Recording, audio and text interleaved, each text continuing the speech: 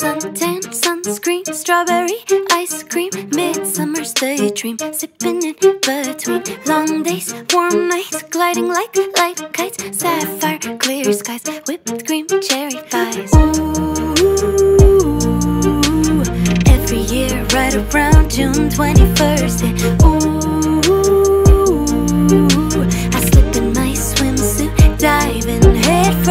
Everything's coming up roses.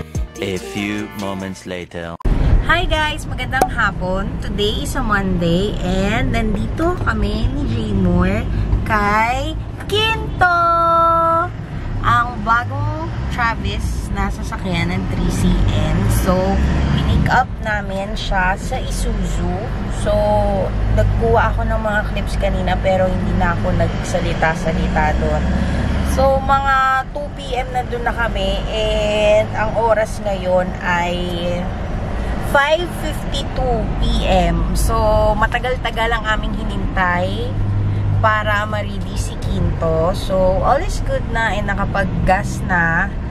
Kasi kanina 2 bars na lang nung nilabas namin. Kaya okay na okay na. So, ayan si Jay Moore, nagka-drive.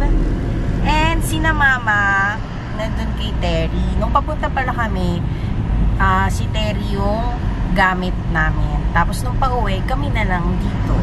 So, ayun ang ganap natin today. So, later, mamaya na lang.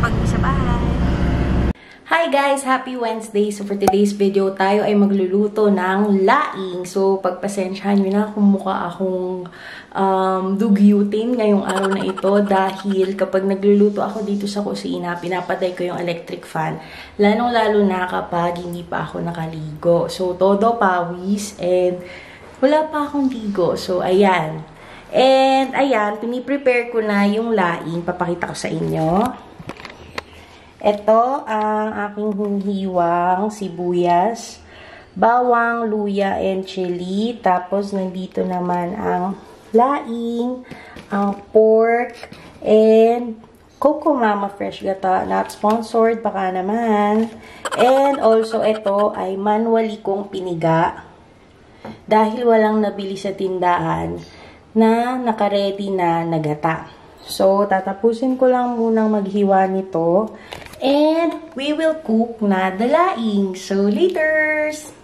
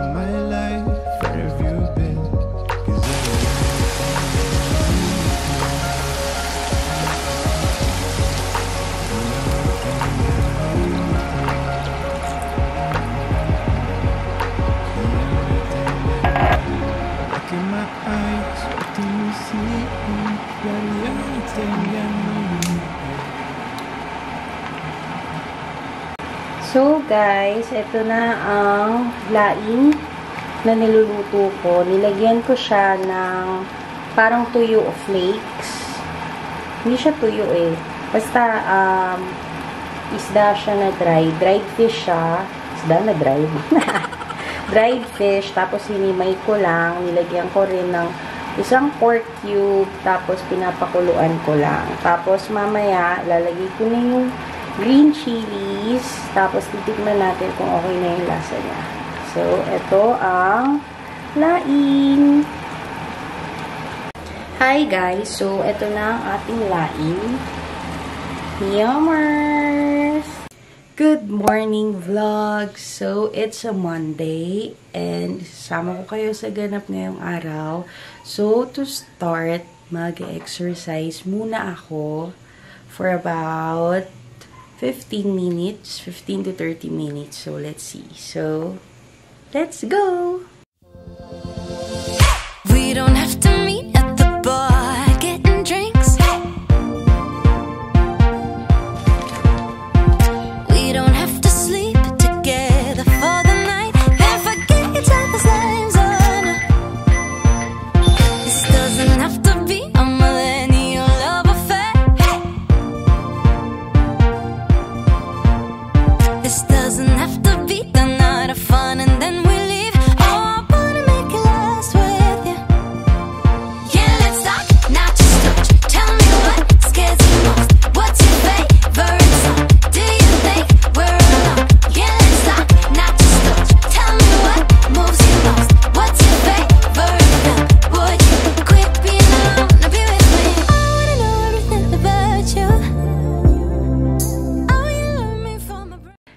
guys! So, tapos na ako mag-workout. So, for today, I did a 10-minute heat booty workout and 3-minute planking.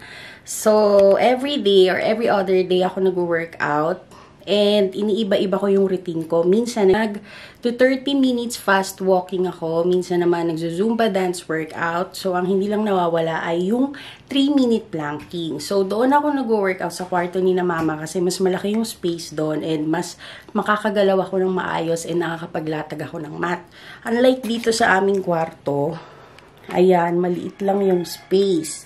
Pero pwede naman maglatag ng mat.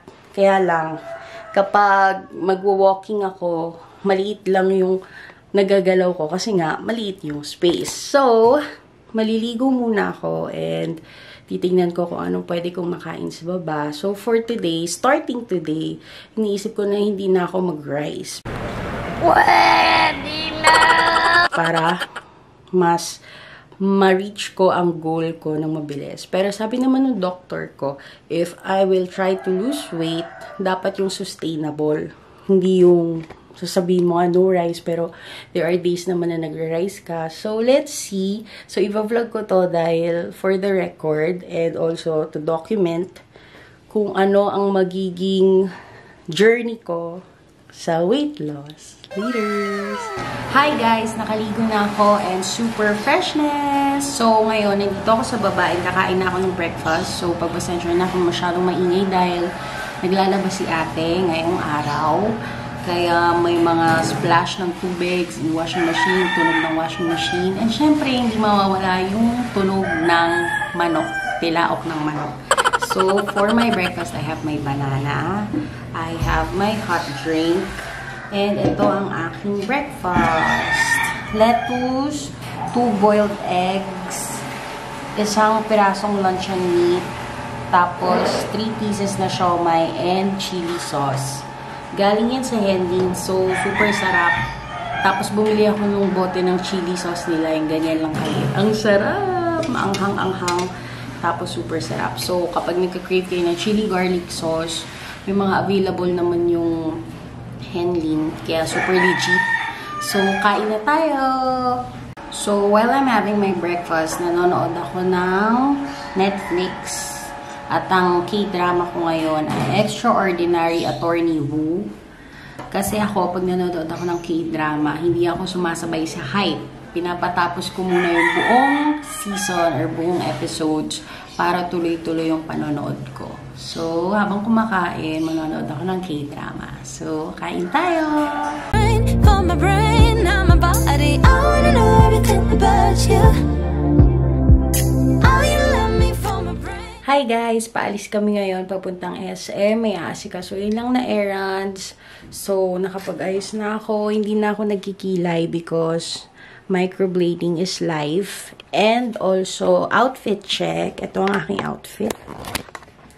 Chin! This is skirt from Giordano. And my Burberry jacket. And black, plain black shirt lang. Tapos, ayan. Yan lang. And sa aking um, sleepers ay crocs. Yan. Ito lang. Ayun. Paalis na rin kami. So, baka hindi na rin ako mag-vlog sa SM kasi sandali lang naman kami. And si Jaymore hindi kasama dahil nasa work pa siya. So, baka mamayang hapon pa siya makauwi. So, mamaya na lang ulit. Bye! Hi guys! Kanina pa kami nakauwi dito sa bahay. And nandito na rin si Jaymore. Ma, say hi to my vlog. Wow. Ayan. And maglalaro kami ng Mobile Legends tonight. Pero, may mga gagawin pa akong ah, pag-receive ng mga docs. Pero, medyo gusto ko muna maglaro. Pwede ko naman yun gawin bukas, pero gusto ko rin siya tapusin ngayong gabi. So, magulo. Kaya, kaya lang, unahin ko maglaro. Di ba ang gulo ko? Tapos, ano pa ba? Ayun, i-end ko na rin yung vlog ngayon. Para may ma-upload ako bukas or sa Wednesday. At, sa susunod na vlog, i-vlog ko, yung gagawin kong cake. May gagawin akong cake this week para sa isang celebration. Kaya, i-vlog ko yun. Kasi first time ko rin gagawa ng ganong klaseng cake.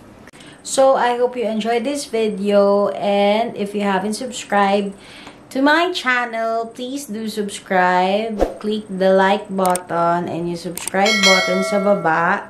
And sana masaya kayo and safe kayo palagi. And I hope to see you guys soon. Bye! Mal, bye! Bye. Bye! Busy siya mag-ayos ng app niya para makapag-live kami ng Mobile Legends. Bye!